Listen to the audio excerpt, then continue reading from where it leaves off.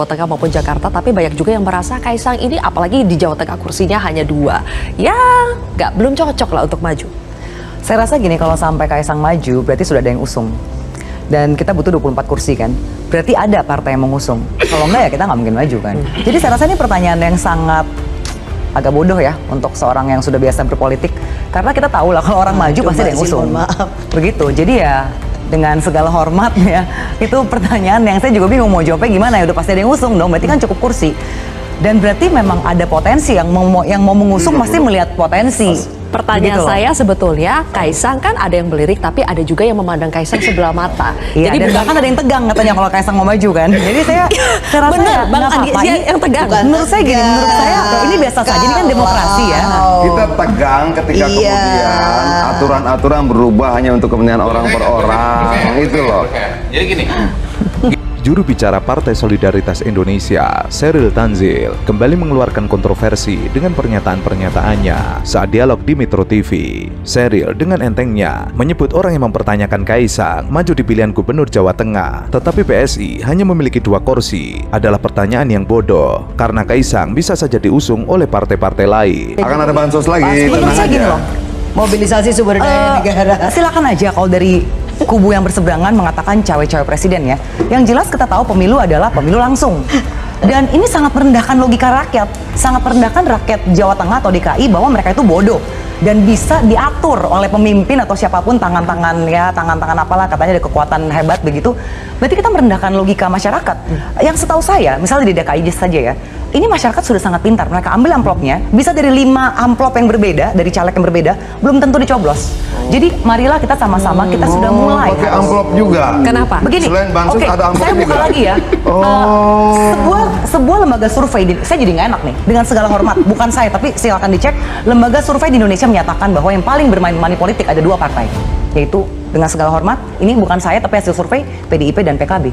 Bo, serius, Lin. Bukan Yes. waduh. saya. Wow. Ini tendensius ini. Perasaan PKB yang ini, bicara amplop apa nih, partai ini ngomong yang miskin ini, Hasil survei, hasil survei. Bagaimana ceritanya? Aduh. Gue tapi agak berbeda Wah, begini. Kita sudah harus closing. ini partai survei terima aku. Eh, kalau gue mau Selain itu, saat politisi PDIP Adiana Pitupulu mempertanyakan adanya bansos jika akhirnya Kaisang maju di Pilgub Jawa Tengah, Saril Tanzil terlihat bad mood. Ia lantas menuding jika pemilu kemarin berdasarkan hasil lembaga survei, ada dua partai yang gencar mengeluarkan uang saat pilkada kemarin, yaitu PDI Perjuangan dan PKB. Sebenarnya Mas Kaisang tuh nggak pernah loh ngebahas bahwa dia akan maju pilkada daerah mana pun. Sekarang yang dilakukan adalah kemarin misalnya gini, kita di DKI sholat Jumat misalnya ya, itu kan ramai banget wartawan. Eh, karena memang teman-teman DPW provinsi DKI itu semuanya hadir gitu untuk mendampingi Mas Kaisang sholat Jumat. Jadi ya heboh lah wartawan gitu kan. Lalu ke PRJ ternyata kita nggak ngomong-ngomong pun orang pada minta foto gitu ya warga yang datang ke PRJ. Tapi apakah itu bagian dari kampanye? Saya rasa bukan. Itu cuman eh, bagaimana ketum menjalankan aktivitas tapi ya kecium aja media dan ya ant- antusias lah masyarakat gitu ngeliat ada Kaisang. Mungkin karena popularitasnya kemarin tadi pagi saya dengan survei indikator itu katanya popularitas Kaisang di DKI itu sudah sampai 90% lebih. Jadi ya mungkin karena populer. Jadi gimana sih kalau orang lihat eh, seseorang yang populer pasti pengen foto ya. Oke. Lalu kemarin kalau misalnya ke Jawa Tengah itu juga bukan bagian dari safari politik eh, berkampanye untuk pilkada secara dirinya pribadi, tapi kita memang meresmikan kantor DPD PSI Solo dan Semarang. Oke. Jadi sebenarnya belum sama sekali belum ada pergerakan untuk maju sebagai pil- eh, calon kepala daerah. Belum ada pergerakan untuk maju tapi belum tentu belum tidak pede kan untuk maju. Kalau PD saya rasa gini, eh, Mas Kaisang ini kan kita tahu lah dia keluarga Jokowi. Kalau sampai beliau mau maju, pasti akan all out dan pasti sudah dengan pertimbangan sangat Baik. matang. Oke.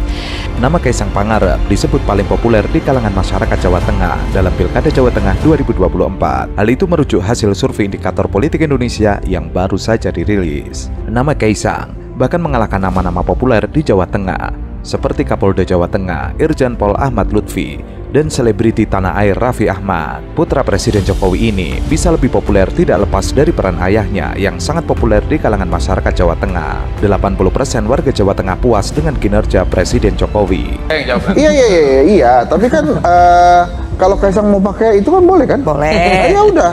Terus kemudian kekuatan yang dimiliki Kaisang ada bapaknya. Oh. Jadi dengan karpet merah bagi Kaisang saya setuju.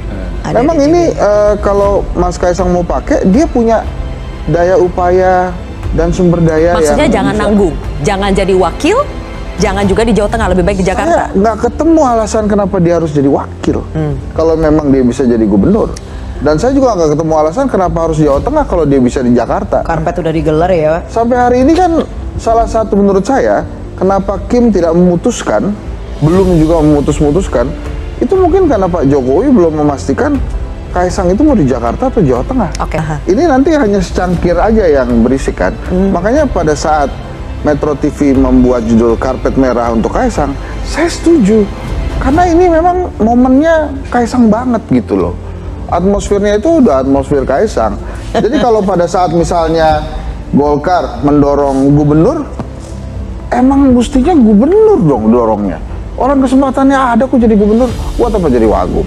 Popularitas Kaisang Pangarep berada paling tinggi dibandingkan dengan nama lainnya dengan perolehan sebesar 84,8 persen. Di urutan selanjutnya ada nama Taj Maimun 49 persen dan Irjen Pol Ahmad Lutfi 45,9 persen. Sementara nama lainnya masih di bawah 50 persen popularitasnya. Meski Kaisang berada di atas angin, namun posisinya belum aman lantaran responden yang memilih Kaisang karena faktor ayahnya. Selain itu, seperempat pemilih Kaisang menyatakan mendukung putra presiden dalam survei ini karena memang belum mengenal nama-nama bakal calon yang lain. Lihat bagaimana cerita Mas Gibran menjadi sebuah proses yang sangat mulus jadi wakil presiden mulai dari MK-nya. Sekarang MA-nya ini sudah membuat bahkan hari ini banyak wartawan nanya ke saya terkait dengan PKPU. PKPU. PKPU udah menetapkan 1 April 2025, eh, 30 tahunnya. Pelantikannya, ya. Jadi kalau ngelihat kata Mas Umam kartunya hidup, ini adalah fakta politik. Sehingga peluangnya sudah ada. Oke. Bahwa kemudian itu jadi atau tidak, tentu kalkulasi politik yang menentukan. Tapi lagi-lagi saya ingin garis bawahi, kita partai politik itu jauh lebih besar ketimbang Hmm. orang per orang. Kita running the organization, kita doing leadership capacity, kita melakukan semua pelayanan ke publik. Jadi jangan takut dengan Jangan takut. satu orang Jokowi kah, dua orang Jokowi, mau anaknya, mau mantunya, monggo. Asal partai politik melakukan pekerjaan benarnya melayani masyarakat. Jika dikenalkan antara calon gubernur seimbang, maka elektabilitas Kaisang bisa saja tergerus. Sementara itu, M. Kodari menilai Kaisang lebih condong maju Pilgub Jateng, walaupun saat ini juga diisukan akan maju Pilgub DKI Jakarta 2024. Jika Kaisang menjadi gubernur Jawa Tengah, maka posisi itu akan menjadi panggung untuk melihat kinerja putra bungsu Presiden Jokowi tersebut dalam memimpin daerah. Memang, efek Jokowi di Jawa Tengah punya pengaruh besar yang bisa mendukrak elektabilitas Kaisang di sana, meski cenderung politis muda yang masih belum punya pengalaman politik pemerintahan sebelumnya. Modal besar tersebut sangat berpengaruh untuk mendukrak dukungan masyarakat kepada Kaisang di Jawa Tengah. berlangsung tanpa intervensi nanti di November 2000. Oh kita kan berjuang agar tidak ada intervensi, tidak ada intimidasi, tidak ada bansos-bansosan, tidak ada pemanggilan kepala desa dan bla bla bla bla nggak ada. Kita mau memastikan kualitas pilkada ini jauh lebih baik dibandingkan kualitas pilpres. Apa yang mau dilakukan? Memperkuat jejaring, memasang apa eh, telinga di mana-mana, kemudian berkomunikasi dengan banyak kelompok dan organisasi yang lain lintas partai dan sebagainya, melakukan pendidikan politik yang lebih dalam terhadap rakyat agar mereka menjadi saksi terhadap seluruh kecurangan yang mungkin terjadi, penggunaan aparatur negara, intimidasi, menakut-nakuti, panggil sana, panggil sini segala macam. Itu kalau kita mengumumkan kalau ada yang dipanggil laporkan pada kami, laporkan di DPR karena tidak boleh kita gunakan itu. Demokrasi mundur karena seperti itu. Tapi kalau kemudian itu tetap terjadi, ya kita membuat catatan-catatan no. Ketika kemudian kekuasaan direbut dari atas kecurangan, bagaimanapun juga legitimasi tidak akan pernah sempurna. Oke, baik, Bung. Situasi di Jawa Tengah yang tidak memiliki sosok petahana juga membuat Kaisang tidak memiliki pesaing yang sepadan. Akan berbeda jika Kaisang bertarung di Pilgub DKI Jakarta karena akan berhadapan dengan sang petahana Anies Baswedan. Dengan masuknya Kaisang, akan banyak partai besar berkoalisi melawan siapa pun tokoh yang akan diusung Partai Demokrasi Indonesia Perjuangan atau PDIP di Jawa Tengah. seperti yang dikatakan Mas Hensat berarti ini semakin meyakinkan kita semua bahwa ini calon karbitan sebenarnya ya Oh iya, ya karbit lah dua hari jadi anggota kemudian jadi ketua umum kan kurang karbit apa gitu. Ya terserah lah mau dibelain gimana juga punya apa katanya punya leadership, ada kreativitas ya terserah. Tapi kan kita punya persepsi juga boleh kan. Iya. Mana ada yang dua hari jadi anggota terus kemudian langsung jadi ketua umum selain Mas Kaisang. Oke. Nah, apakah Mas Kaisang perlu membantah itu bahwa dia ini punya kualitas bukan karena anaknya Jokowi.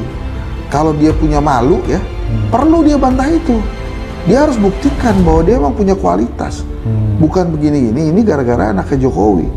Cuma kan kita nggak tahu juga dia pengen nggak membuktikan itu. Kayak Mas Gibran, kan banyak yang mengatakan bahwa dia ini belum pas, belum cocok di posisi wapres. Ya kalau dia memang willing tuh, gitu ya, artinya punya rasa malu dan harus merasa membuktikan, ya buktikan aja. Buktikan kapasitasnya. Iya, buktikan kapasitasnya bahwa orang-orang yang bicara bahwa dia itu muncul ke permukaan karena Pak Jokowi salah. Jadi jangan kemudian repot membantah bahwa tidak ada cawe-cawe Jokowi, tidak ada cawe-cawe Jokowi. Ya persepsi publiknya begitu. Jadi pada saat kubu yang mengatakan bahwa tidak ada cawe-cawe Jokowi, itu juga mesti menghargai kubu yang mengatakan bahwa ada cawe-cawe Jokowi. Anggapan kalau Presiden Jokowi kembali cawe-cawe pada pemilihan kepala daerah 2024 bukan sekedar isu. Faktanya, Jokowi diam-diam telah menyodorkan putra bungsunya, Kaisang Pangarep ke berbagai partai politik untuk diusung sebagai calon wakil gubernur DKI Jakarta. Hal ini diungkapkan Sekretaris Jenderal Partai Keadilan Sejahtera, Habib Abu Bakar Al-Habsyi, usai menghadiri kegiatan penutupan sekolah kepemimpinan partai. Sejauh ini, respon dari berbagai partai politik terhadap pencalonan Kaisang masih beragam. Parpol yang tergabung di Koalisi Indonesia Maju tampaknya menyambut baik. Sementara parpol lainnya masih belum memberikan keputusan. PKS sendiri sudah mantap mengusung pasangan bakal Cagup-Cagup Jakarta Anies Baswedan Sohibul Iman. Menurutnya itu adalah terbaik yang diputuskan oleh PKS. Bukti keluarga Jokowi bakal cawe-cawe dikuatkan dengan Wakil Presiden terpilih Gibran Raka Buming Raka mendampingi pejabat Gubernur DKI Jakarta Heru Budi Hartono meninjau proyek Kali Semongol Jakbar dan berkunjung ke Kelurahan Kamal Muara Jakut.